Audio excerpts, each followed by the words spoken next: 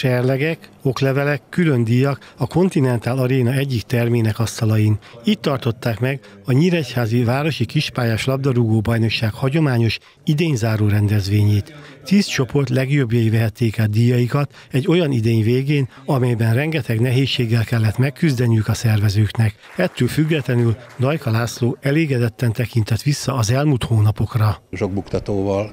teli bajnoki évet tudunk magunk mögött, hiszen a stadioni beruházás miatt nagyon sokszor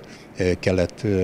pályáról eljönnünk, elvettek tőlünk pályát, aztán visszaadtak, meghatározták, hogy mikor fejeződjön be a bajnokság. Ezeket természetesen mindig végre is hajtottuk, és nehéz körülmények között csak három pályán tudtunk játszani, mert bajnokság felétől már az ABC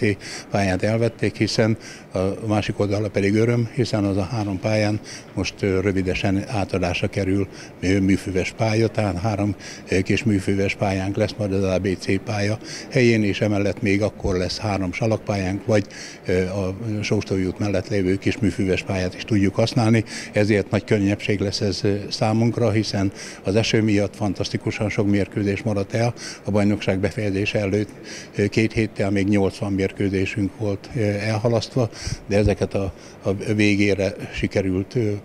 ledolgozni. Mint Dajka László elmondta, a színvonalra nem lehetett panasz, és az is örömteli, hogy sportszerű légkörben ment végig a bajnokság. 1200 mérkőzést játszottunk le a bajnokság folyamán, és hát nagy öröm számomra az, hogy komolyabb sérülés nélkül, és igazán sportszerű körülmények között, hiszen összesen 20 kiállítás volt, a bajnokság folyamán, és ez 1200 mérkőzést tekintve ez egy óriási nagy szám, és, és ezért azt jelenti, hogy, hogy játszani jönnek hozzánk a játékosok, szabadidő kellemes eltöltése véget, és én bízom benne, hogy ez így lesz a jövőt illetően is. A korábbi élvonalbeli futbalista Mincér Tibor a sajtos pogácsával a bajnoki címet nyert a D csoportban, és 36 találattal a gólkirályi címet is megszerezte. Egy vereségünk volt, és a többi meccset jól tudom, meg is nyertük mindet, úgyhogy igazából egy sikeres éven vagyunk túl, de ami a legfontosabb, egy jó hangulatú és egy, és egy nagyon jó szellemű brigádba kerültem, úgyhogy én élvezett focizni. Van azért a csapatban, aki, aki megfordul magasabb osztályban,